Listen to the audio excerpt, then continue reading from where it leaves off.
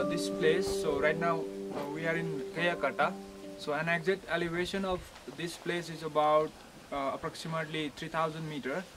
So well, talking about life of here is uh, very tough because winter, uh, like climatic condition is like uh, unpredictable. You know, like it's Himalaya. So above 3000 meter mountain has their own climate. So it's really hard to say uh, climate climatic condition. So uh, so winter it goes to sometimes minus at night, and they have to they must have to stay over here because uh, to see you know uh, the uh, red panda and all uh, for conservation and all and to control the uh, illegal thing it's not happening but they are looking after red panda and actually while talking about this place is like very diverse area.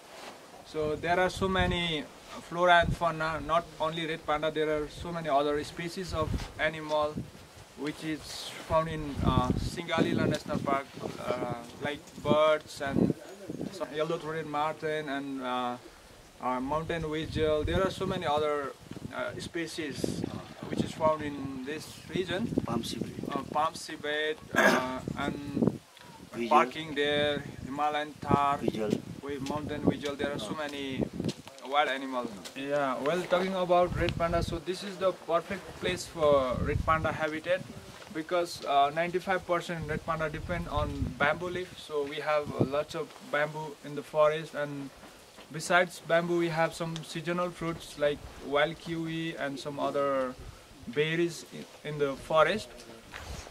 जब हम पहले यहाँ 2014 में 15 में आया था।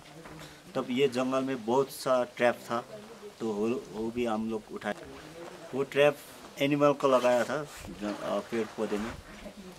जंगल का यहाँ का हंडिंग करने वाला, जो लोग बाहर से आता आता था, वो बहुत सा ट्रैप हम लोग उठाए यहाँ। और उसका बाद तो हम अभी तक रेख देख कर रहे हैं, उतना नहीं मिल रहा। Endangered species, so uh, uh, we should uh, conserve it like it's our wealth, not for only our, it's wealth of nation, I guess.